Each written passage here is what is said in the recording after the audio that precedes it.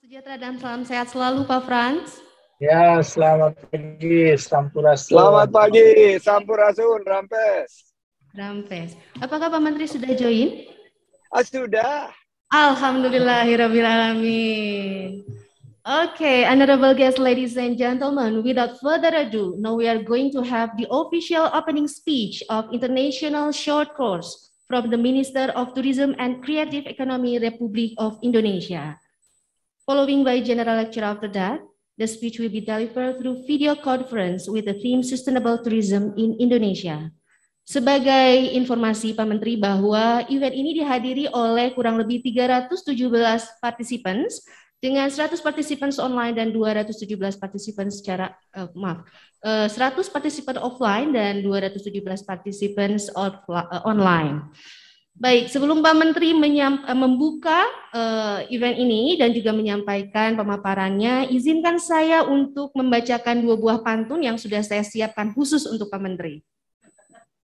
Tolong direspon partisipan yang sedang online, jangan lupa cakep, oke? Okay?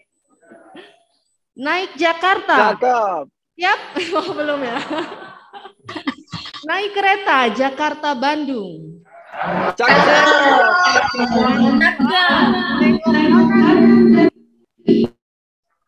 Meski kita tak berjumpa langsung, yang penting bisa lihat Pak Menteri. Oke. Okay. Satu lagi khusus untuk Pak Menteri. Ada konten di media sosial. Cakep. Asik. Asal jangan jadi sok Hei, kamu yang generasi milenial, mari kita wujudkan pariwisata berkelanjutan. Baik, karena Baik. Pak Menteri ini waktunya sangat tight sekali. Uh, kita untuk mengefektifkan waktu bisa langsung dimulai, Pak Menteri. Please welcome. Baik. Dr. Sandiaga Uno. So yours. Thank you so much. Bismillahirrahmanirrahim. Assalamualaikum warahmatullahi wabarakatuh. Salam sejahtera bagi kita semua. Shalom, Om Swastiastu, Namo Buddhaya, salam kebajikan, salam sehat, salam Indonesia maju penuh semangat. Sampurasun. Rampes. William Angie. Thank you. Thank you very much for having me on this international short course with the title Asian Community and Tourism Sustainability Development Challenges for Tourism. On my way to the airport uh, to go to Likupang, Manado, one of the five super priority destinations, izinkan saya menyapa Ketua uh, Stiepar Yapari Bandung, Ibu Profesor Dr. Enok Mariani MS, Ketua Yayasan Bapak Profesor Dr. Encep Syarif Nurdin MPD MSI, President of Eurasia Foundations Japan, Mr. Sato Yoji, Ohio gozaimasu, Para narasumber short course ada lima lecturers dari luar negeri, Japan, Turkey, Malaysia, Philippines, South Korea, and 11 lecturers from uh, domestic university, UGM, ITB, Universitas Patimura, UPH, UNPAD, UPI, Stiepar, dan Hildik Tipari. Para presenter call for paper sebanyak 43 orang pada seminar nasional pariwisata dan 19 perguruan tinggi di Indonesia. Bersama dengan Dr. Frans Teguh yang memang mendalami bidang pembangunan berkelanjutan dan konservasi dan Ibu Oneng, Sekretaris Deputi bidang pengembangan destinasi dan infrastruktur, izinkan kami memulai dengan pantun. Pergi ke tebing keraton di akhir pekan. Nikmatnya indahnya sunrise sambil buat terkesima. Mari terus kembangkan pariwisata berkelanjutan melangkah ke depan menuju Indonesia Mas 2045. Pertama-tama syukur kehadirat Allah Subhanahu wa taala, alhamdulillah wa syukurillah International Short Course ini bisa kita lakukan bersama-sama Pari Yapari dan Eurasia Japan. Jutaan pekerjaan dan bisnis bergantung pada sektor pariwisata.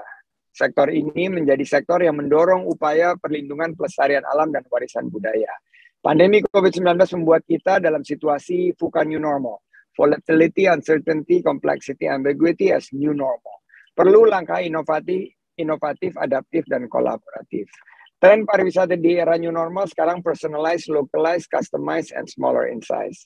fokus kepada triple bottom line, people, planet, prosperity, ditambah two other P's yaitu partnership and peace.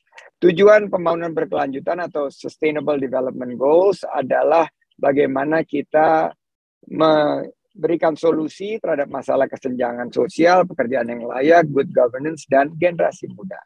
Kita yakin tantangan lain seperti sampah, pengelolaan air, energi baru dan terbarukan akan bisa kita solusikan. Seperti misalnya ada 453 ton sampah yang dihasilkan oleh 150 ribu pengunjung setiap tahunnya pada komunitas mahasiswa pencinta alam, di mana 53 persen merupakan sampah plastik yang tidak mudah terurai. Ini perlu ditanganin bersama. Oleh karena itu, eh, kami di pemerintah melalui regulasi dan terakhir uh, Permen Parekraf uh, nomor 5 2020 dan nomor 9 tahun 2021 memberikan pedoman pengembangan pariwisata berkelanjutan. Kami juga berkomitmen beberapa fleksi program mengenai Sustainable Tourism Development. Salah satunya adalah Indonesia Sustainable Tourism Award, ISTA. Sertifikasi Desa Wisata Berkelanjutan.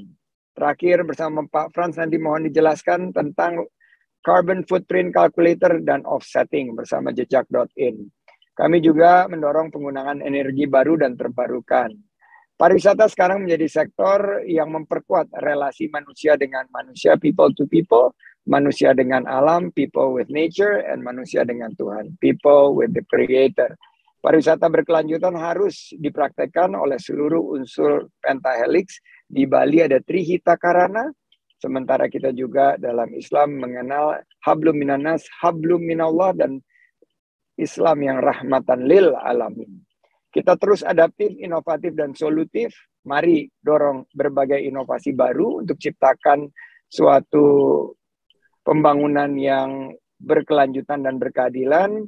Dan mari kita berkompetisi untuk berkolaborasi. Bertanding untuk bersanding menjadi wadah bagi pengetahuan dan inovasi kreativitas anak muda mempersiapkan masa depan Indonesia yang tentunya bisa menjadikan Indonesia negara yang maju, sejahtera, adil, dan makmur. Akhir kata dengan mengucap Bismillahirrahmanirrahim, pemohon rahmat dari Tuhan Yang Maha Esa, International Short Course, Asian Community and Tourism Sustainable Development Challenges for Tourism saya nyatakan resmi dibuka.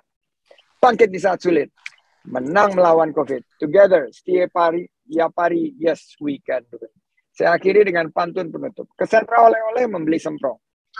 Kuliner Jawa Barat cocok jadikan cemilan. Sustainable tourism akan terus kita dorong. Siapkan, bangkitkan ekonomi dan parekraf. Terima kasih. Terima kasih.